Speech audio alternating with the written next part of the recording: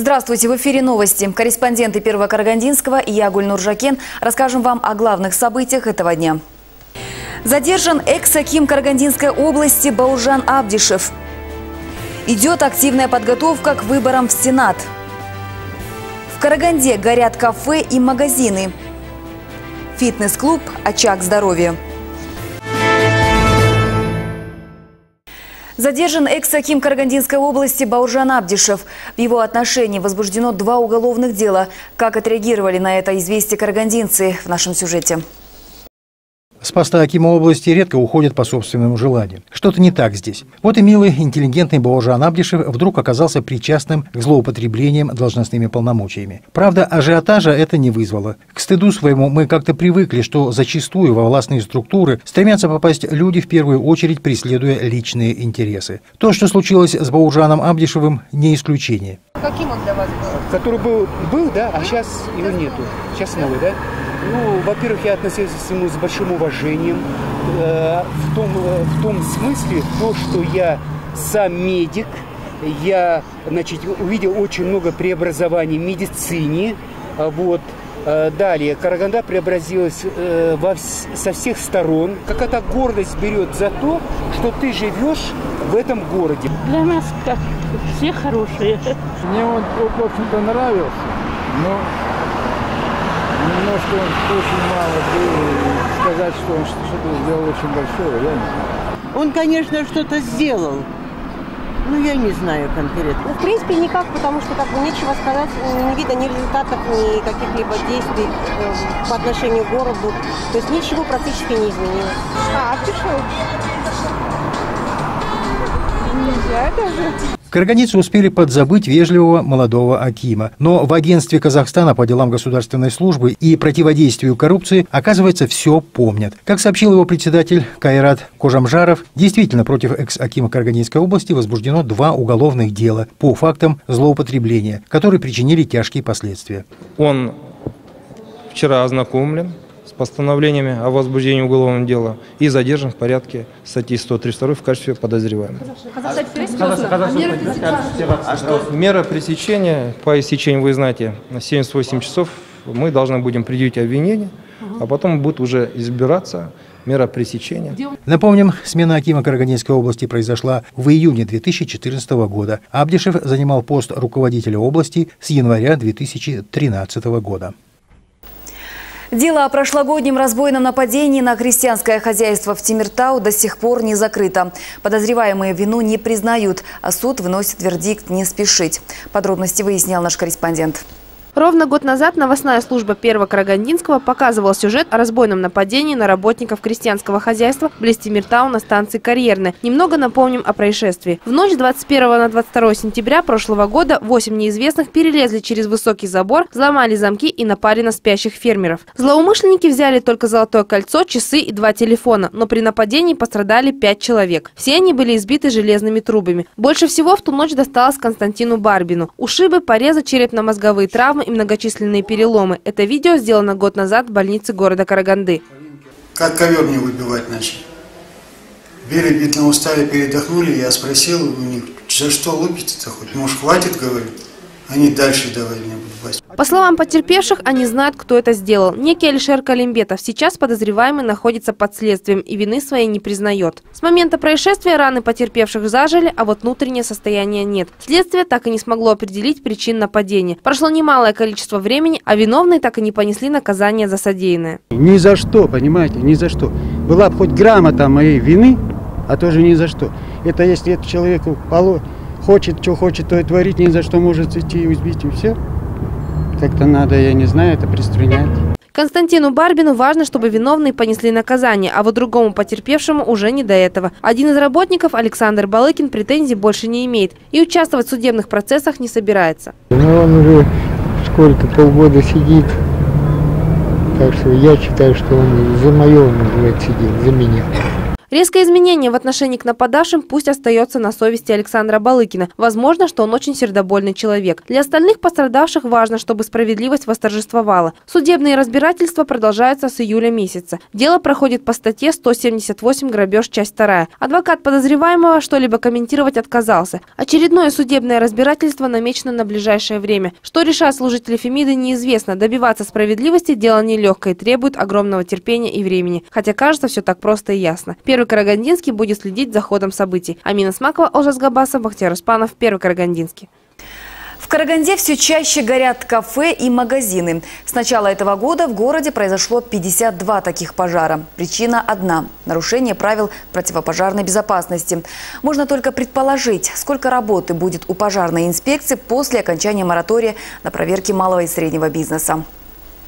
Последний пожар, который тушили наши огнеборцы, был в кафе Love Story. Лабораторные исследования показали, что пожар возник из-за неисправности в электропроводке. Департамент ПЧС проанализировал данные чрезвычайных ситуаций этого года и пришел к выводу, что из 54 пожаров 34 случая, 65%, произошли на предприятиях торговли, 10 пожаров, 19%, случились на предприятиях общепита и 8 пожаров произошли на складах и других подобных объектах. Возможно, предприниматели расслабились и стали меньше больше внимания уделять пожарной безопасности. Честники классифицировали причины возгорания. 18 пожаров произошло из-за нарушений правил пожарной безопасности во время эксплуатации электрооборудования. Заведения перенасыщены электроприборами, которые дают огромную нагрузку на сеть. Еще 20 пожаров произошло из-за неосторожного обращения с огнем. Ярким примером стал пожар, случившийся 4 июня, когда в огне погибли сразу несколько заведений. Кафе «Пятый угол», кальянная Геноцвали, шашлычная, пельменная и небольшой магазинчик. По причине нарушения правил пожарной безопасности во время установки и эксплуатации печей отопления зарегистрировано 11 пожаров. Также был зарегистрирован пожар, произошедший из-за нарушений правил пожарной безопасности во время эксплуатации газовых приборов. Это случилось 23 января, когда произошел пожар в кафе «Джессис». Тогда из-за утечки газовоздушной смеси, последующего взрыва и пожара, погибли три человека, еще семь пострадали. Специалисты выяснили, что четыре газовых баллона хранились не в специально оборудованном помещении, а прямо на кухне. Выводы за вами, уважаемые предприниматели. К другим новостям. В Караганде уже началась подготовка к выборам депутатов Сената, которые пройдут через неделю. В областном Акимате прошло совещание по обеспечению этой государственной акции. 1 октября 2014 года в Казахстане пройдет значимое событие. Состоятся выборы депутатов в Верхнюю палату высшего законодательного органа. За место в парламенте предвыборной гонки нашего региона участвуют три кандидата. Сергей Ершов, депутат областного маслихата, Николай Раскопов, бизнесмен и главный врач первой городской больницы Дмитрий Чернов. Лишь одного кандидата выберут депутаты маслихата путем тайного голосования. Все приедут в город Карганду во Дворце культуры Горняков 1 октября.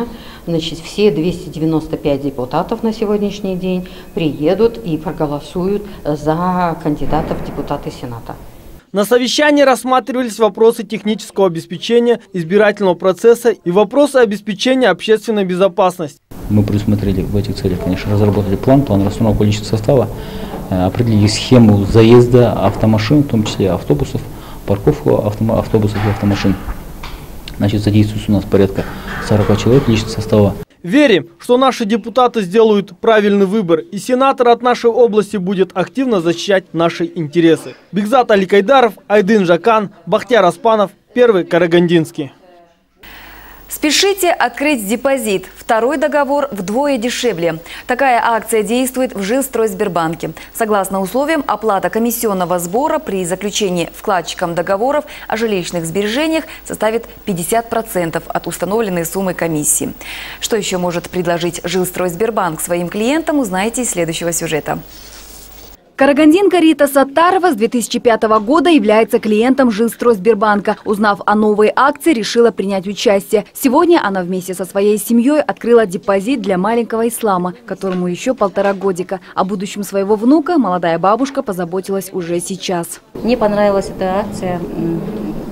Потому, почему? Потому что э, при открытии второго договора, третьего, четвертого, комиссия э, на открытие депозита дешевле два раза. И плюс э, есть, оказывается, премия от государства годовая, что меня очень заинтересовало. И вот мы сегодня открыли договор депозит на всю свою семью. Я очень рада и надеюсь, что мы э, купим новую квартиру в новом престижном районе. Карагандинка Жанар Жумабаева не первый год пользуется услугами банка. В 2007 году она с супругом получила жилье по программе «Бастау» Жилстройсбербанка. Акция «Второй договор вдвое дешевле», объявленная банком, заинтересовала клиентку, и она вновь заключила договор сроком на 5 лет.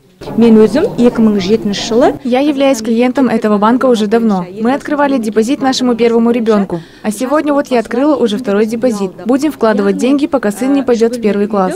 Для нас, жителей города, это очень удобная система. Преимуществ данной акции много. Например, участвуя в акции, можно открыть депозит на членов семьи и получать по 20% государственных премий, до 200 МРП на каждого члена семьи. Цель и задача этой а, программы, чтобы активизировать а, наших клиентов, чтобы они были вовлечены в систему жилстройсбережений и в дальнейшем могли а, большое количество процентов, соответственно, больше объеме получить государственные премии от государства. В этой акции могут участвовать следующие члены семьи, это братья, сестры, родители, супруги и дети. На сегодняшний день акция привлекла около 400 вкладчиков и были составлены договоры о жилстройсбережениях. Если до этого мы проводили эту акцию с один месяц, было промежуток времени, то в этот раз э, руководство банка его продлило до двух с половиной месяцев, то есть с 1 сентября по 15 ноября. Акционерное общество «Жилстройсбербанк Казахстана» – один из крупнейших банков страны. Осуществляет работу по четырем тарифным программам – Бастау, Уркен, Кемель, Балашак. Между собой они отличаются сроком накоплений и процентными ставками по кредитам. Напомним, акция «Второй договор вдвое дешевле» «Жилстройсбербанка» продлится до 15 ноября текущего года. Гульнур Жакен, Айдын Жакан, Бахтияр Успанов, Первый Карагандинский.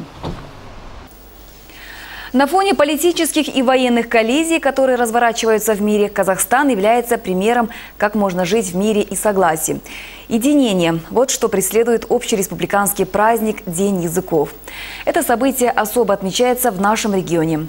В Департаменте внутренних дел Карагандинской области стражи правопорядка тоже отметили День языков народа Казахстана.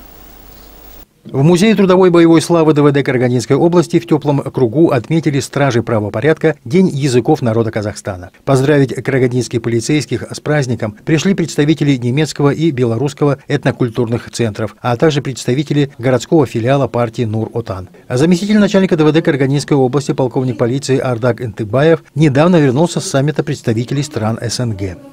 Буквально на днях, 18-20 сентября, саммит кадровых аппаратов, э, участников СНГ аппаратов. То есть э, приехало 9 стран, в том числе Белоруссию, вот я отвечал. Вот с Караганды приехали, на Карагандинский центр, культурный центр Беларуси, представили, да? Каравай напели, каравай угостили, земляков увидели, так, да? Двойной, чтобы всегда дружно так жить. Гости праздника, представители культурных центров рассказали о языках, которые развиваются и действуют на территории нашей республики. Язык – это окно в новый мир, это посредник дружбы все больше и больше уделяется времени для изучения, для познавания именно традиций казахских традиций, именно э, традиций языка. Не случайно в сентябре отмечается два праздника – День языков народа Казахстана и День семьи. День языка и День семьи – это настолько все переплетено между собой. Именно в семье нам дают все самое лучшее, что мы потом дарим, все, что мы дарим своим детям, своим внукам будущим. Наверное, неважно, на каком языке мы будем говорить, главное, чтобы это были слова добрые и слова, которые только, наверное, дарили нам радость. Родной язык – это ключ к духовной жизни народа, показатель уровня культуры, искусства, и нельзя забывать, что он сохраняет наши корни. Хотя порой люди, живущие одними интересами и целями, понимают друг друга, хоть и говорят на разных языках Пані і пани, віншую вас святом, з Днем мови. Жадаю вам моцного здоровья, бадерости, поспеху у праці, чтобы вы, как сказать, активнее, так сказать, боролись со всеми преступлениями и так далее, и удачно у вас всегда получалось. На торжестве выступили поэт-полицейский Куаныш Медиубаев, который прочитал стихи собственного сочинения о родном языке, а также вокалисты ансамбля ДВД области, которые порадовали собравшихся прекрасными песнями. Сергей Высокосов, Абахьяр Успанов, Первый Карагандинский. Впереди небольшая реклама, оставайтесь с нами. Спонсор показа Galaxy Group, производитель продукции торговых марок Алюгал, Галвин, Херкюль. Торговая марка Галвин представляет Эконом-серия профиль Галтек 53 серии. Эконом-система трехкамерных профилей монтажной шириной 53 мм представляет собой качественное и экономичное решение. Если вам нужны внутренние перегородки в магазин, офис, балкон или лоджию, это ваш профиль. Стандартная система профиль Галвин. Профиль Галвин 60 серии. Это система четырехкамерных профилей с монтажной шириной 60 мм. Идеально подходит для любого климата и региона. Система стандарт относится к классу А, а значит полностью соответствует современным требованиям качеству оконных и дверных профилей. А теперь новинка. Серия «Эксклюзив». Пятикамерный профиль Галвин 70 серии. Монтажная ширина 70 мм. 5 камер и наличие дополнительного паза для резинового уплотнителя значительно повышают тепло- и звукоизоляцию. Толщина лицевых стенок 3 мм. Помимо белого цвета, профиль Галвин выпускается в шести цветах. Золотой дуб, махагон, мореный дуб, темно-коричневый, орех и серый. Но и это еще не все. Имеются профили односторонние, внутренней и наружной ламинации всей цветовой линейки. Все профили торговой марки Galvin и Galtec не содержат свинца и на 100% соответствуют санитарно-эпидемическим нормам. Профиль Galvin – морозостойкий, надежный, прочный. Каждый день до 100 человек заряжается энергией в фитнес-клубе «Аэрофит». За год работы он стал популярным центром здоровья в Караганде. На свой первый день рождения фитнес-клуб «Аэрофит» пригласили нашу съемочную группу.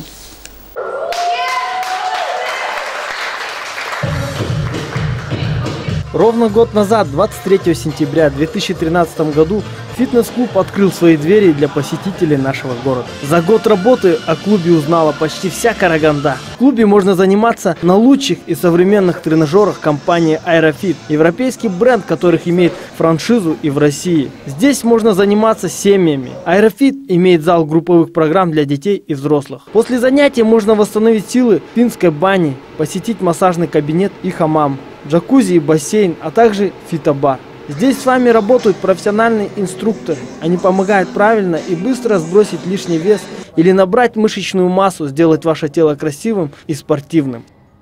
Наши инструкторы – это вообще отдельный такой разговор. Вот. Наши ребята все в основном молодые. У нас средний возраст до 30 лет. Вот.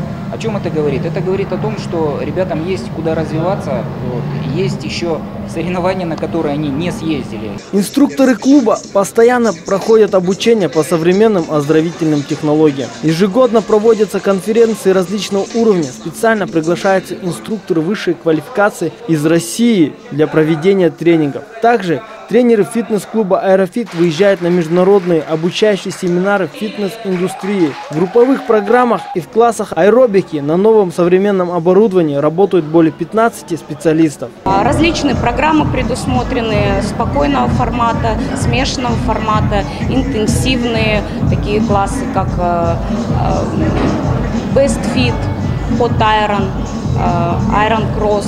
Посетителям нравится отзывчивый персонал и сервис. Всегда приятно заниматься на шикарных тренажерах и танцевать под современную, специально подобранную музыку. Для любого посетителя здесь найдут индивидуальный подход. Очень люблю на зумбу ходить, танцевать.